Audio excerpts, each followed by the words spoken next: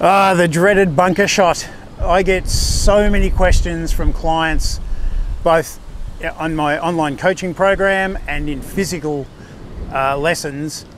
People struggle with bunkers. Well, as a full time golf coach, I find it amazing that people have so much difficulty because one of the first basics we have to do is we have to get the club under the golf ball. We don't want to hit the ball when we play a bunker shot, we want to hit under the golf ball. So we actually want to hit a little bit behind the ball.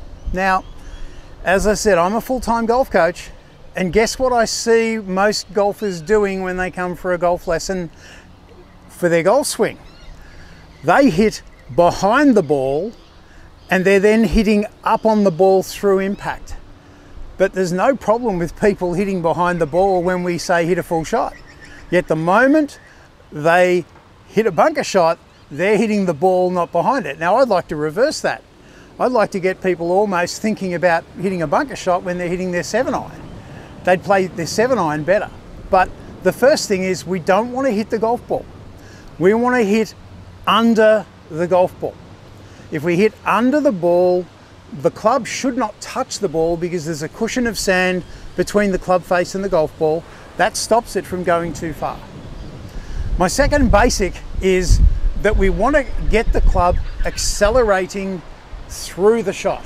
Without acceleration, and you will see it all the time, you know, that it looks a bit like this. People get up there and they have a reasonable swing and they decelerate and they stop there and they say, oh, the ball nearly came out. Well, yeah, it nearly came out, but it didn't because you didn't accelerate. So we really want to accelerate. And as Gary Player used to say, we're going to feel like we're going to strike the match. If we strike the match, to strike the match, we're accelerating through the bottom.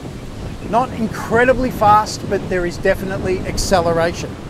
So when we hit a bunker shot, we want to hit under the golf ball Make sure there's a cushion of sand between the face of the, club and the ball, and we want to accelerate.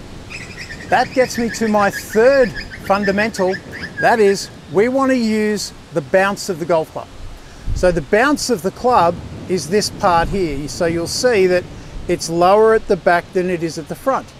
The bounce of the club is there to keep the club moving. If I didn't have bounce and I had zero degrees of bounce, that leading edge would hit the sand just as I would do here and it digs in. We don't want it to dig in. We want to utilize the bounce to allow the club to keep moving. So my contact point is going to be toward the back. This is a very shallow bunker. There's not a lot of sand there, but even though there's not a lot of sand there, some people call this hard pan. This is what Melbourne bunkers are like.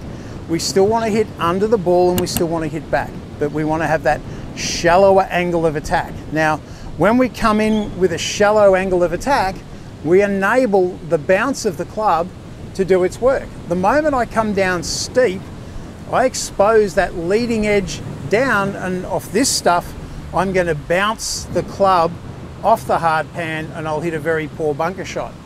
So the secret to playing from hard pan and wet sand for that matter is to keep that angle of attack shallow to utilise the bounce of the club. So they're my three basic fundamentals. We want to make sure that we hit under the golf ball, not the ball. We want to make sure we accelerate through the shot and we want to utilise the bounce of the club by keeping our angle of attack shallow.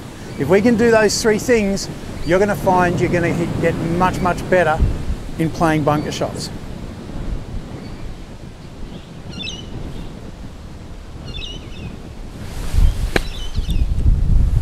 Uh, I just pushed that a little bit right, but it came out okay.